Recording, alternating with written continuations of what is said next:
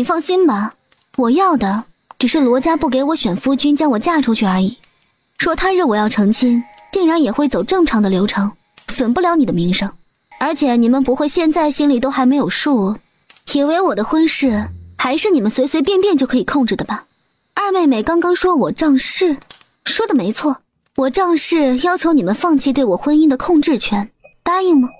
玉露，你疯了是不是？你怎么能说出这样的话来呢？其实你父亲他早有准备，肯定会为你挑一门好亲事的。那盛家大公子盛成义，母亲，若是您还想让我认您这个母亲，请您不要干涉我和他们谈条件。不知天高地厚的孽障东西，我倒要看看，没了我罗家的庇护，这孽障怎么能嫁人？丁兄，答应他，都答应他。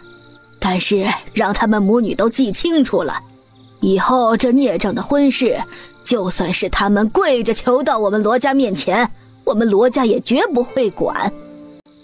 婆母，玉洛她不是这个意思。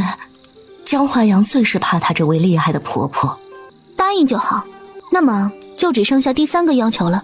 明日我外公的寿宴，我只负责带罗玉琼过去，但进了左丞相府的门后。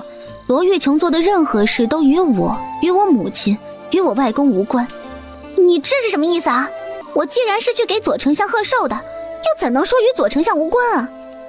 他就是想要利用左丞相和江华阳的身份，这才好去攀高枝儿啊。琼儿说的有道理，这个要求不能答应。要我说，一家人就不该说什么要求不要求的。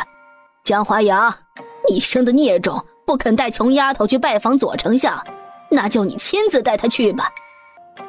婆母，我怎么你还敢质疑我的决定？个忤逆不孝的东西，这点小事都做不好，你是废物吗？